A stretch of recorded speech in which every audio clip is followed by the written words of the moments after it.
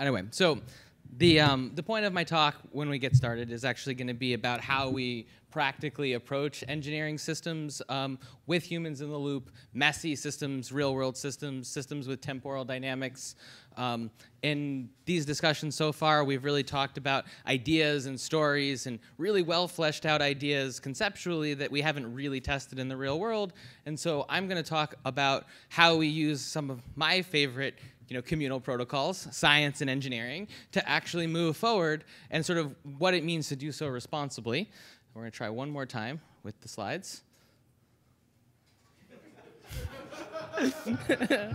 um, Cool. Well, we're going to let someone else control the flow then. So the goal of this is to create interconnected communities of autonomous local actors within which global coordination is enabled by technology. I will note that global co coordination here does not imply homogeneity. We talked briefly in the previous um, fireside about sort of the need for intermediate levels of um, sort of groupings and behaviors. Um, in general here, when I talk about global coordination, I'm, I'm talking about some like low dimensional you know, notion of sort of collective well-being, which is maybe characterized by the sort of flow of, of property between people, or what the definition of communal property would be in the case of the radical markets ideas. Here I'm not specifying anything about what that global coordination is. I'm just considering cases where we care about global coordination as an idea. Um, so we can move forward with slides. Um, this is where things get really messy. Like we have closed loop systems with humans, human behavior, human changing the nature of the world through the creation of the internet, through the creations of these platforms, through the creation of smart contracts.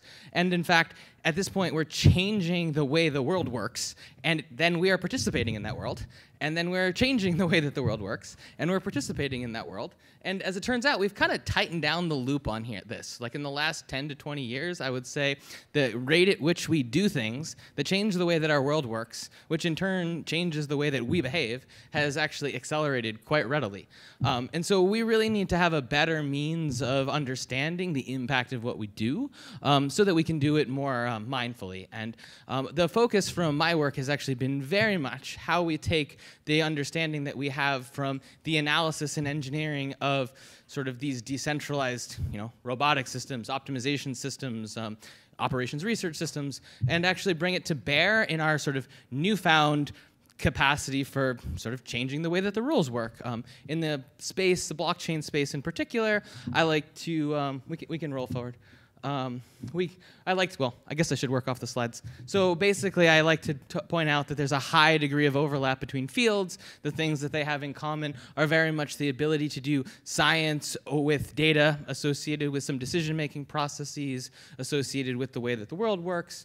Um, and in part by staying all techie and only thinking in terms of optimization and automation and control, or even just finance and economics, if we don't also pay attention to the sort of biological like sort of flows of information or the actual human experiences associated with um, the way that we engage with our world, even when it's ostensibly irrational. Don't particularly like even thinking in terms of rationality. It implies there's one right answer to begin with, which arguably your objective is itself a subjective choice.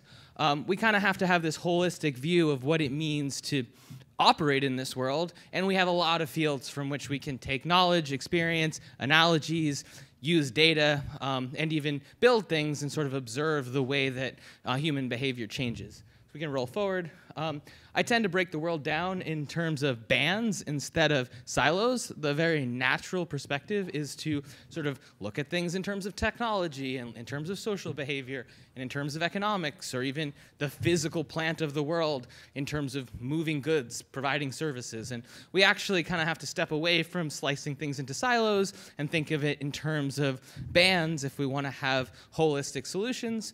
Um, this sort of stack identifies at least how I choose to break it down in in the context of a blockchain enabled world, go all the way from our real goals and the sort of macro evolution, what it is we wish to accomplish as a community, as a society, or even a small group, um, down through the agents' behaviors, the individual's actions with respect to each other, down through the sort of interaction patterns. These are sort of like the ways in which one can interact with each other, um, which is different from the actions themselves, because what you can do and what you will do are actually decidedly different.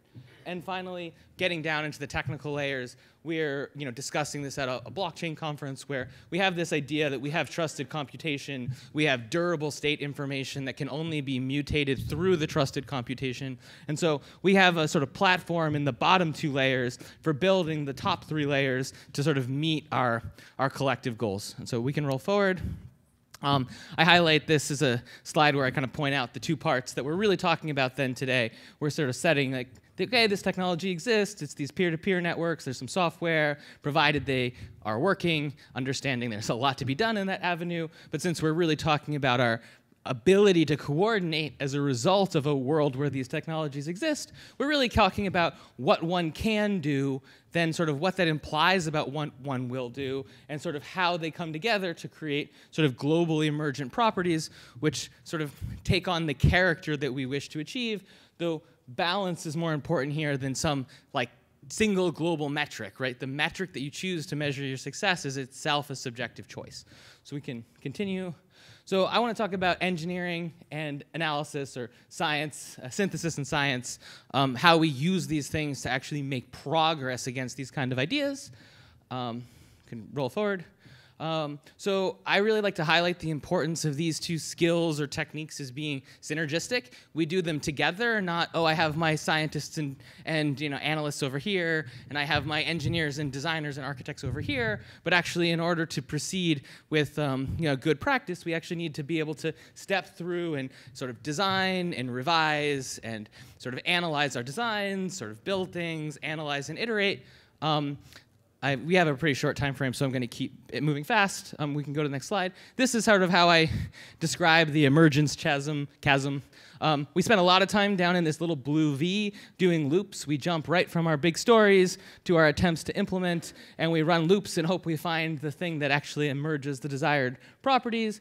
But coming from an engineering discipline where we contend with messy systems with lots of uncertainties and they have to work anyway. The way we resolve that problem is to start up here with our story, break it down into pieces and sort of what I'll call rigorously decomposed.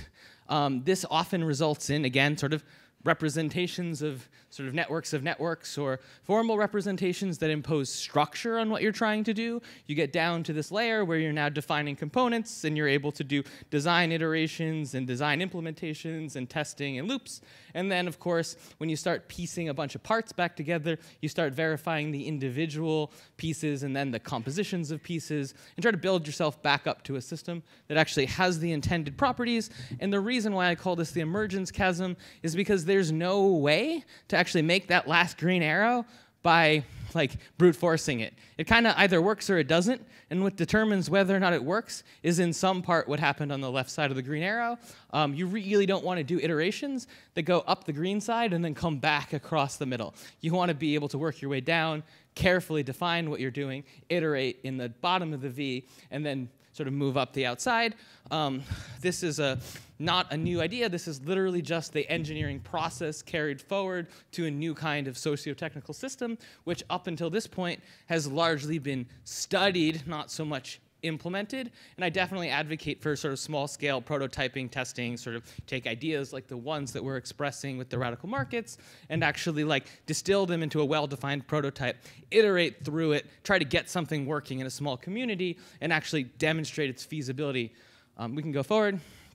Um, the big thing that's challenging here is um, these sort of closed loop systems with unknown user strategies in the loop. Um, the nice thing is there are actually mathematical techniques for attacking these problems, but they're about understanding the whole reachable spaces, what can happen. They're less about what will happen and more about saying, if I design this blue box and I have some well-defined um, sort of analytical properties, I can actually make arguments about everything that can possibly happen in this system, independent of the sequence of choices that are made under all of the legal actions. And that's the kind of system level sort of um, first properties that you can encode and actually hope to achieve, and also can hope to use to validate sort of system safety against potentially undesirable emergent properties that we know a priori we wouldn't want. Unfortunately, it can't stop things from happening that you didn't think of, but it's at least a framework for moving forward. Um, we can go forward.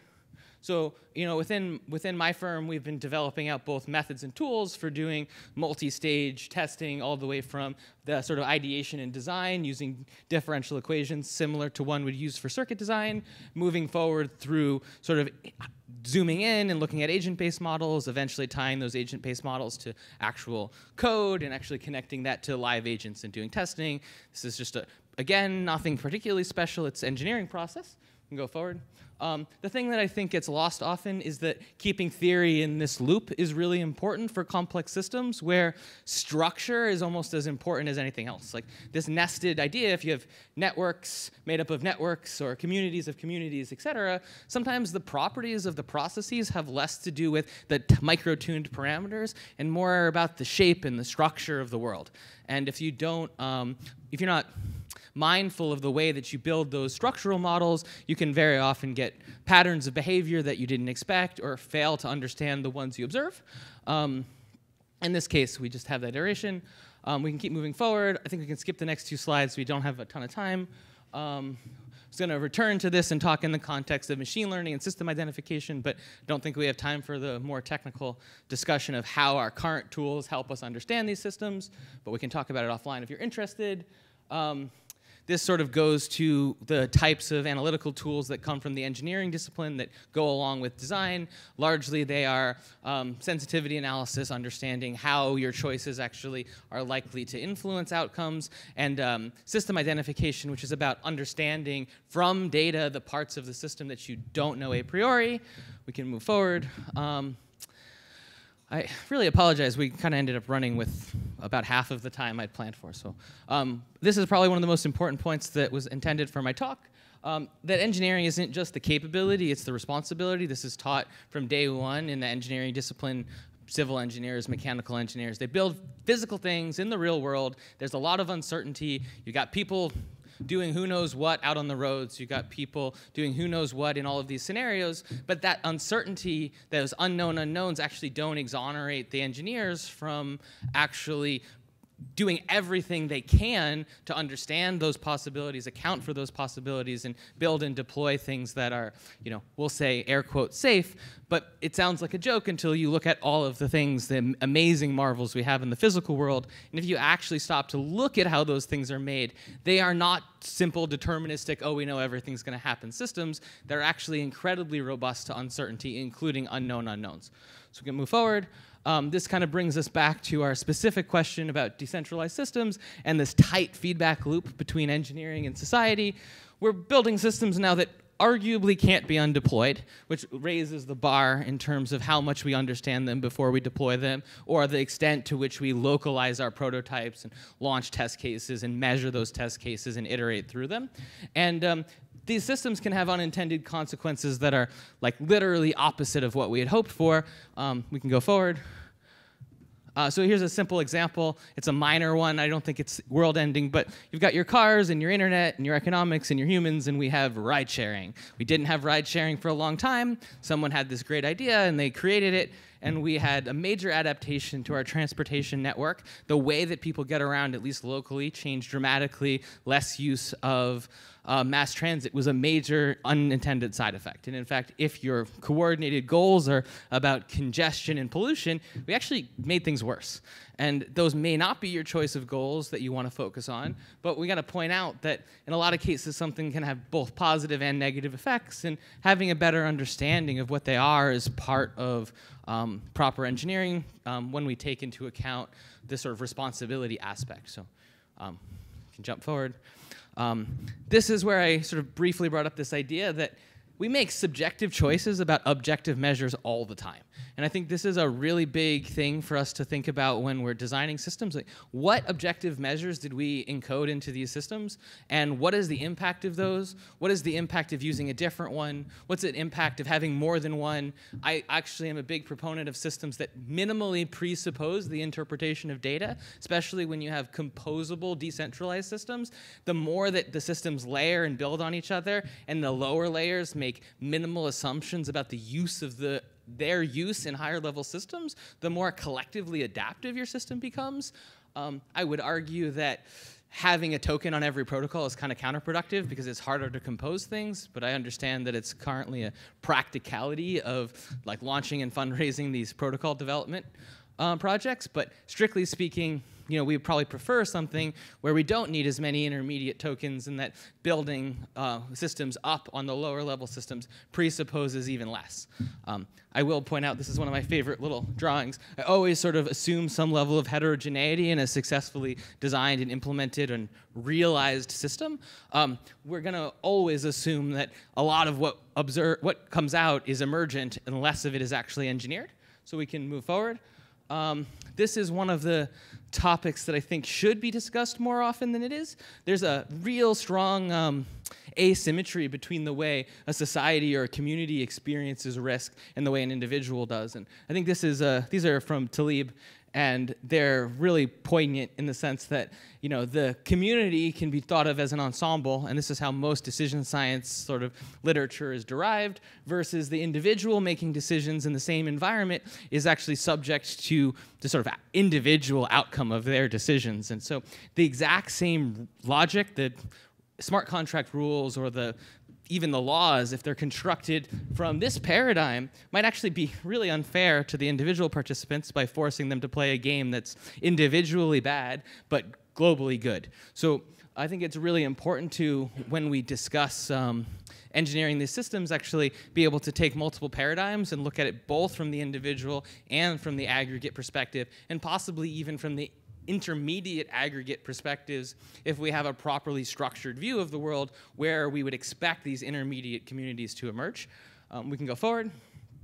Um, I I think this is another really critical point. So I apologize. We've sort of reduced to me making a bunch of really separate points. But um, this one is another really important one. That is when we're evaluating the fairness of, of these systems, it's really at the algorithms level, not at the outcomes level. Um, and I consider this to be similarly equivalent to the veil of ignorance if you're applying it properly. Basically, it means you analyze your system as designed precisely from the I don't know where I'm going to be and what's the overall you know, fairness of all possible outcomes under reasonable assumptions about the distribution of the population under that system, you can literally take an algorithmic approach that is equivalent to this type of study precisely because of the level of abstraction in the design. And so I think there's more room to flesh out here, but I'd like to highlight it for people who are building systems and make sure that we're asking questions about um, where sort of how our algorithms relate to the population from a um, sort of lack of knowledge of which participant you are, which is maybe not quite the case from systems that heavily, heavily prioritize early adopters because you're kind of saying, well, I know that I'm an early adopter, therefore my system is engineered to be great for early adopters. You know, how fair is that to the people the end of the spectrum in steady state say, um, well, I think it remains to be determined. Um, forward one more. Wait, slides.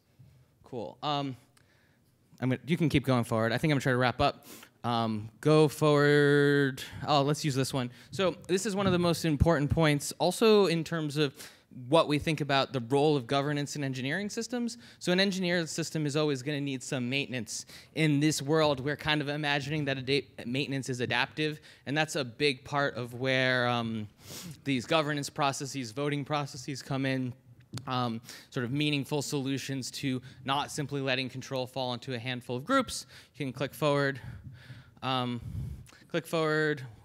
So this is kind of technical. One more This is the last slide. So I'll just tell you, I've been the last two slides were a little bit of a. Uh, it was meant to be a handoff to connect into what people here have been working on. This is a little toy model that I made in a rapid prototyping tool that represents a continuous voting process using uh, both a continuous time discounted weighting accumulation and also a quadratic cost. And it just basically shows a dynamic decision-making process where you get this noisy set of preferences down on the bottom, weighted by the token holdings, assuming there's some kind of representation of voting power, um, combined with the sort of convex diminishing returns for voting, then the accumulation in time makes it so that the decision point's not fixed in time. Rather, at any point, if the sort of time weighted quadratic cost vote crosses the line, this max function between the um, conviction flips and the decision changes. I'm particularly a huge fan of systems that don't have discrete moments in time where things switch,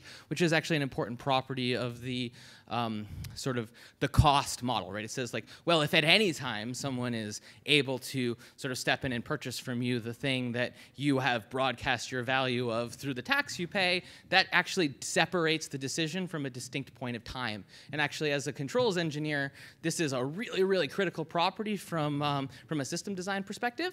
And um, so I wanted to make a, an example of using this for a more general voting context, not just for the um, sort of the cost for a property. And uh, obviously, a toy model, maybe, uh, maybe I can convince uh, Simon to let us use this voting model for autonomous, but I'll leave it at that.